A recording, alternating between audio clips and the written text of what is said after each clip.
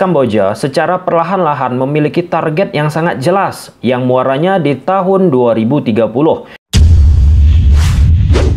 okay, ulang coba-coba. Ya, teman-teman kita bahas Bali United yang tampil di AFC Cup tapi dihajar oleh wakil dari Liga Kamboja yaitu Visha FC. Secara konotasi pengucapan nama klubnya seperti itu ya teman-teman. Gak usah komen-komen yang salah pengucapan klubnya dan lain sebagainya. Kita bicara substansinya. Kalau misalnya salah-salah pengucapan nama ataupun klub ya wajar kan apalagi bukan tim ataupun yang berasal dari Indonesia. Oke, Bali United mencetak gol terlebih dahulu lewat Irfan Jaya di menit 9. Kemudian dibalas oleh Visha FC oleh Paulo Victor di menit 17. Kemudian melakukan comeback oleh Auksopan di menit 45.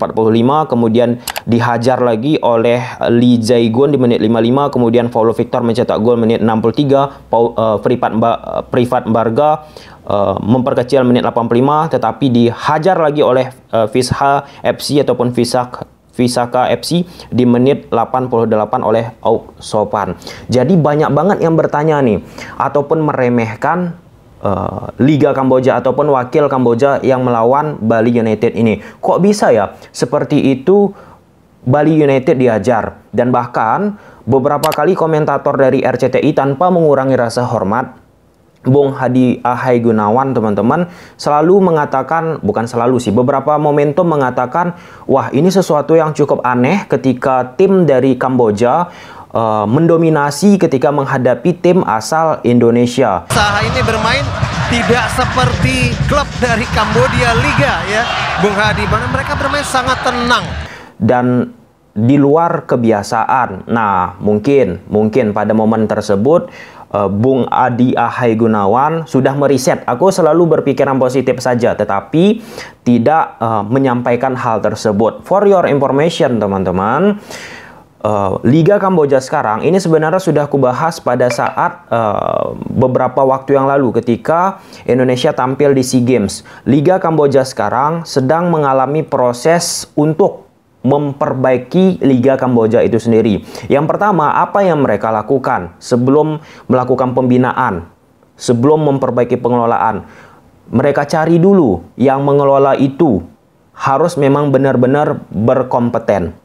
Lalu mereka carilah di awal, bukan mereka cari, lalu mereka rekrutlah di awal tahun 2022, yaitu kurang lebih ya, Satoshi Sheito asal Jepang. Dia ini merupakan seorang marketer yang memiliki jam terbang yang sangat luar biasa di dunia sepak bola. Pernah di AFC, pernah di FIFA, pernah di Barcelona. Kemudian menjadi eh, project leader cabang sepak bola Olimpiade 2020 yang diadakan di tahun 2021. Nah, yang paling pentingnya teman-teman, dia ini Satoshi Shaito ini merupakan mentor dari uh, salah satu orang yang membangun ataupun founder yang membangun Liga Jepang di tahun 1993 yang sekarang kita ketahui Liga Jepang prosesnya sangat pesat. Hal itulah yang ingin diadopsi, yang ingin diadaptasi oleh Kamboja. Untuk apa? Untuk merekrut Satoshi Shaito. Satoshi Shaito bisa menelurkan, menanamkan apa yang sudah uh, mentornya tanam untuk Liga Jepang. Suka tidak suka, Liga Jepang menjadi salah satu liga yang sangat uh, berkompetensi ya di Asia. Nah, salah satu yang paling penting bagaimana Satoshi Shaito ini memperbaiki uh, Liga Kamboja itu sendiri yaitu dengan mempersingkat ataupun mem, mem, apa ya me, memotong klub liga profesionalnya hanya dengan 8 klub uh, sisa 7 atau 8 klub lagi mereka letak di liga kasta di bawah Kamboja Premier League. Nah, artinya 8 klub ini klub yang memang benar-benar profesional termasuk yang menghadapi Bali United ini tadi Visaka FC ataupun Visha FC teman-teman. Nah, jadi secara uh, apa namanya verifikasi tim-tim ini sudah memenuhi yang ingin uh, disasar oleh Satoshi Saito agar Liga Kamboja ini menjadi liga terbaik di regional Asia Tenggara. Bahkan kalau misalnya hal tersebut tidak bisa tercapai dengan cepat, setidaknya mereka geser Liga Indonesia. Nah, kita tahu teman-teman, harus kita jujur-jujuran juga ya. Liga Indonesia ya mungkin berjalan stagnan ya begitu-begitu saja walaupun ya beberapa momentum menghasilkan hasil yang baik di uh, kompetisi Asia tetapi ya berjalan demikian berarti berjalan demikian, maksudnya teman-teman nggak ada sesuatu yang luar biasa, terobosan yang bisa menggairahkan, membangkitkan sepak bola Indonesia itu lagi teman-teman. Ya kalau misal mendatangkan pemain ya normal. Tetapi kita bicara dari sisi yang meng-hire, yang memegang, yang mengelola dari liga kita itu. Bukan berarti menghardikkan, meremehkan orang-orang yang sedang mengelola liga kita sekarang, teman-teman. Bukan, bukan. Tetapi dari sisi apa yang sedang dilakukan oleh Kamboja ini dengan meng-hire orang yang benar-benar paham, profesional, teman-teman. Ini kalian tahu aja ya, teman-teman. Di SEA Games kemarin, di SEA Games ya, CEO dari Kamboja Premier League ini datang cuman untuk menonton pertandingan dari negara-negara yang ada di SEA Games sepak bola teman-teman. Untuk apa? Untuk memantau kualitas dari pemain-pemain dari masing-masing negara. Hal sebenarnya nggak penting bagi seorang uh, nggak uh, penting dalam tanda petik ya itu subjektif pemandangan dari mana kita melihatnya nggak penting bagi or, uh, apa orang yang mengelola liga kenapa nggak fokus ke liga aja tetapi dia berkeliaran di stadion-stadion yang ada di Vietnam untuk menyaksikan kualitas-kualitas dari pemain yang ada di cabang sepak bola SEA Games. Nah, kenapa itu menjadi salah satu hal yang dia lihat teman-teman?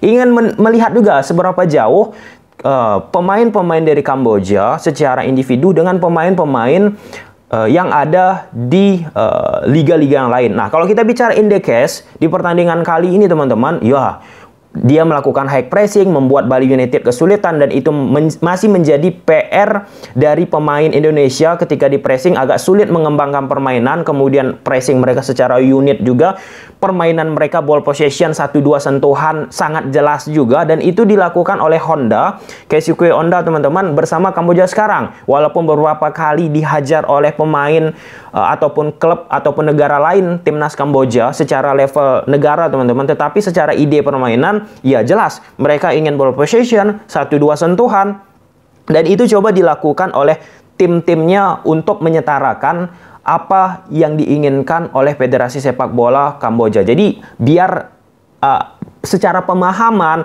baik itu apa yang diinginkan timnas Kamboja uh, gaya permainannya itu secara nggak langsung akan diadaptasi oleh tim-tim yang ada di Kamboja itu sendiri. Sehingga ketika pemain-pemain dari Kamboja ini dibawa ke timnas Kamboja mereka tidak terlalu bingung lagi bagaimana filosofi dari sepak bola Kamboja ini. Sekali lagi teman-teman yang aku apresiasi daripada ini semua sepak bola Kamboja, federasi yang orang-orang yang ada di Kamboja yang mampu merayu Satoshi Shaito untuk bisa menjadi meng-hire dari sepak bola Kamboja. Itu aku kredit poin. So teman-teman, banyak banget fans dari sepak bola kita di Twitter, Instagram yang menghardik dalam tanda petik ya teman-teman. Kok kok kok bisa kalah? Sama uh, Kamboja yang liganya antah berantah hancur ini itu. Nah, itu kelihatan banget orang yang nggak tidak orang yang tidak melakukan riset ataupun ingin ya membakar suasana biar banyak yang komentar dan lain sebagainya. Tetapi secara de facto Kamboja sedang mengalami proses yang uh, menuju yang lebih baik lagi. Dan bahkan teman-teman, visi misinya ini sudah pernah aku sampaikan beberapa waktu yang lalu menjadi liga profesional, liga terbaik di regional Asia Tenggara. Kemudian di tahun 2023 ya teman-teman, kalau nggak salah, klubnya berpartisipasi untuk mengikuti Liga Champions uh, Asia. Tentunya salah satu indikator untuk bisa tampil di Liga Champion Asia bisa mengalahkan tim-tim uh, yang ada di AFC Cup sehingga poin yang mereka dapat itu semakin banyak. Kemudian di tahun 2023 SEA Games di Kamboja target emas luar biasa. Kemudian di tahun 2027 masuk ke putaran final Asian Cup. Kemudian di tahun 2030 masuk ke FIFA World Cup. Artinya secara presisi mereka sudah men, uh, menunjukkan target yang jelas. Tetapi bukan hanya sekedar cuap-cuap target. Kalau misal kita bicara aku ingin target ini A, B, C, D, E, semua orang bisa. Tetapi mereka meng-hire dulu sumber daya manusianya untuk bisa me memenuhi target tersebut. Percuma kalau misalnya kita punya target A, B, C, D, E tetapi sumber daya manusia nggak mampu memenuhi target tersebut jalan di tempat. Oke teman-teman, tidak perlu digusari mengapa Bali United uh, kalah kalau kita bicara dari sisi yang aku sampaikan ini. Tetapi kalau kita bicara dari sisi permainan Bali United teman-teman yang satu yang menjadi um, hal menarik ya, yaitu terkait tentang Spaso Jevic. Nah, sebelumnya kita udah pernah bahas satu tahun yang lalu, bahkan dua tahun yang lalu mungkin ya teman-teman, terkait tentang striker yang diinginkan oleh Sintayong. Aku sudah mengatakan jelas-jelas Spaso itu tidak cocok untuk uh, Sintayong dengan kriterianya. Apa alasan aku? Ya tentunya sudah pernah aku buat videonya menggunakan data, menggunakan grafis uh, taktikal teman-teman. Dan ya terbukti di pertandingan ini mati dalam tanda petik Spaso Zevic.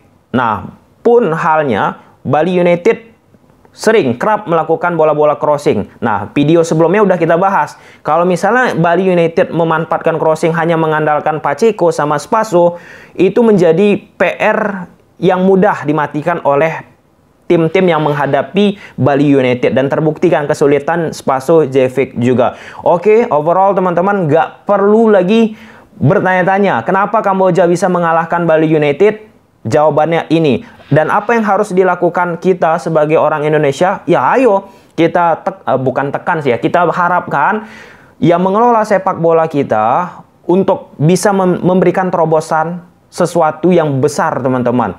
Kenapa? Ya, karena kualitas sepak bola itu berasal sepak bola secara khusus ya, berasal dari kompetisi.